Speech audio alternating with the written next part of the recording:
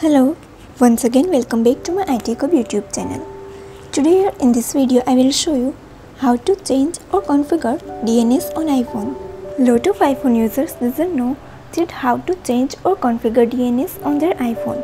So here's the solution. Now let's begin. First of all go to settings. Then you tap on Wi-Fi.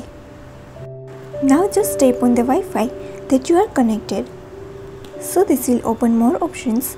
Now scrolling down and you will see configure DNS option. Tap on it.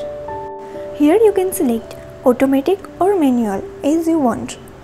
And if you are selecting manual then also you can select DNS services as you can see here.